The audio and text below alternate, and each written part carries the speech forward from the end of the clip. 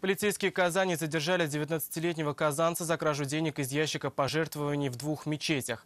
Первое преступление произошло 22 ноября. По версии стражи порядка, молодой человек пришел в молельный дом мусульман и пробыл там около 20 минут. Убедившись, что никто за ним не следит, подозреваемый подошел к ящику, вскрыл его и похитил все деньги. Сумма ущерба составила порядка 30 тысяч рублей. Возбуждено уголовное дело по статье кражи. Молодой человек был задержан оперативниками по месту жительства в одном из поселков Зеленодольского района. В ходе работы с ним полицейские установили его причастность к краже из мечети в Ахитовском районе, которая была совершена 23 ноября.